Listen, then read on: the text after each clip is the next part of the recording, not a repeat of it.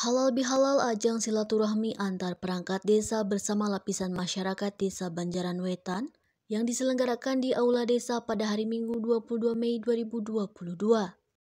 Dihadiri oleh perangkat desa, BPD, tokoh masyarakat dan tamu undangan dari berbagai kelembagaan agama maupun organisasi keagamaan sebagai narasumber acara kegiatan halal bihalal yaitu Hajah Enung MPDI bersama ibu-ibu mustami desa Banjaran Wetan. Dalam acara halal bihalal bersamaan dengan acara pembukaan Majelis Taklim Muslimat yang mempunyai agenda untuk mengadakan pengajian rutin dua bulan sekali, akan dilaksanakan di bulan Juli minggu keempat.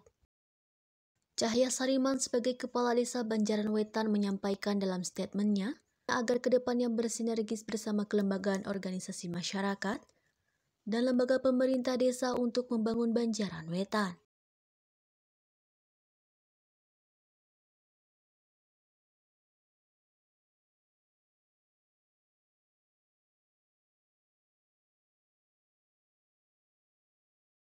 Warahmatullahi wabarakatuh.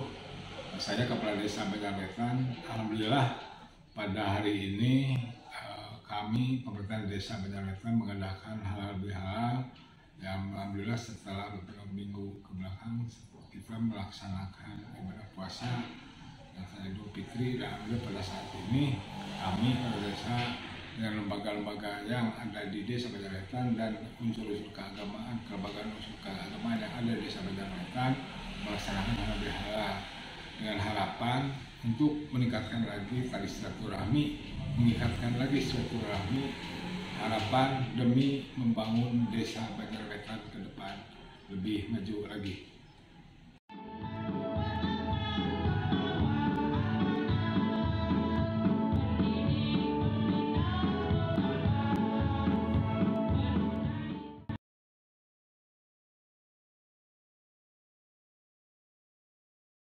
Dari Kecamatan Banjaran, Tim Liputan Hadas TV mengabarkan.